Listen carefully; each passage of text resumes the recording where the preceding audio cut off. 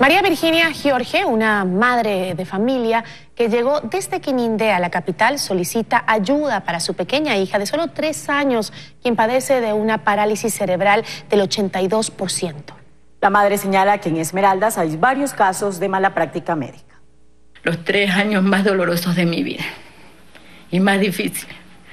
Me ha tocado sacar a mi hija en la madrugada, convulsionándome ya a punto de morirse tres veces.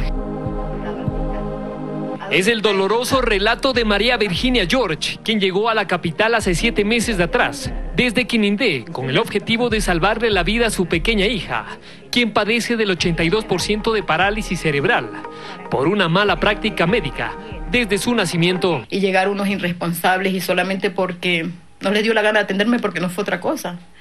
Pienso yo una mujer que ya llega con la labor de parto, usted tiene que atenderla en el momento, no tiene por qué llegar y mandarla a una habitación. La pequeña Shirley Jaramillo tiene tres años de edad.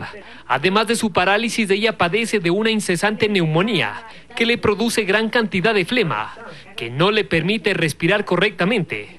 Por ello, su madre Virginia, mediante una máquina de filtración, limpia el interior de su cabeza y pulmones. Que un niño que entra en una convulsión le puede dar un paro cardíaco. Según los médicos que tratan el riesgoso problema de Shirley, la neumonía puede ser controlada y suprimida, siempre y cuando la pequeña se someta a cinco dolorosas sesiones de succión.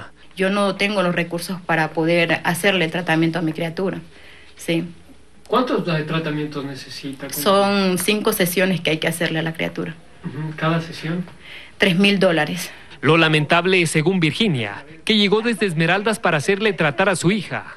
Este problema es constante en su provincia y existen varios casos similares que no son denunciados. En Quinindé y Esmeraldas son, yo creo que es el pan de cada día.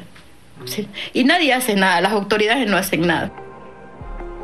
Si está en sus manos colaborar con la pequeña Shirley, comuníquese a los contactos 099 380 4836 en Quito, Paul Coello, 24 horas.